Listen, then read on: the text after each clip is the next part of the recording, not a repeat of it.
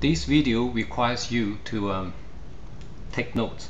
This uh, video clip is about some important concepts so I want you to go back to basic by pausing this video and go and get a pen and your paper notebook ready.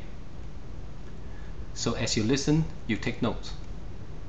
Now here are the very important concepts that you must be very clear before you start write your first line of HTML code. So the first one is web programming language. Now when the teachers or the textbook say web programming language it can mean any one of these or even more okay? And we are learning HTML at the moment. The next concept is web authoring package now web authoring package are software applications that allows you to create or produce web pages without writing HTML code. And these packages are called, the two samples are Macromedia Dreamweaver or Microsoft FrontPage. In IGCSE exam, you will need to use either one of them to test your work. Also, the textbook may sometimes use the word text editor. So text editor means uh, can be Notepad. So in our computer, you can go and come here and you can put in Notepad and once you click open, the Notepad is here. So this is where you write your HTML coding here. So you can use Notepad to write your code and Notepad is one of the text editors. In fact, you can use any word processing application that allows you to save your text file with HTML at the end. Okay, now we can check and see if Microsoft Word allow you to do that. So you come here Microsoft Word and then you come save as. Now you choose here Word document Adobe. Open document test other format. Other format and are here documents template so no so this Microsoft Word 2007 does not allow you to save your coding in HTML. Therefore, you cannot use Microsoft Word as your text editor.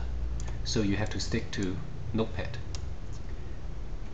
Okay, because in Notepad you can save as HTML. The next one, when the textbook mentioned web browser it means any one of these. Now depending on what software you use or what computer you have okay and the computer I'm using right now I have Internet Explorer or Mozilla Firefox or Google Chrome. So these are the browsers that will look at your work that can open your HTML code as a website. So web browsers are software applications that will open a website and they will also help you the HTML writer to see your work and when the textbook and the teacher mention web browsers they can mean any one of these and you should look for it from all programs here and then you open it. So now I want you to pause your video and see if you check in here on your computer which web browsers you have on your computer. So on three you pause and then perform. One two three. Now I continue.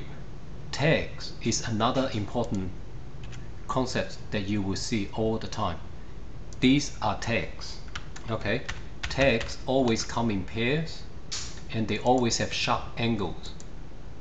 In between is what you want to show on the internet.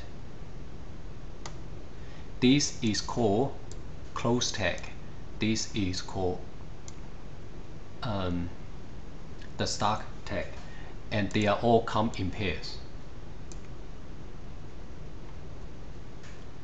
so this tag tells the browser what to do with the text here. Okay and this tag tells the browser to stop whatever they do to here.